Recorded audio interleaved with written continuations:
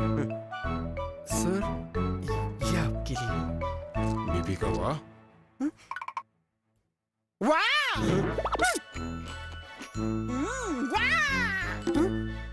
Sorry sir. BP की नई वाह चॉकलेट कैरमेल नूगा और चॉकलेट का ऐसा टेस्ट कि अंदर का बच्चा बाहर आ जाए।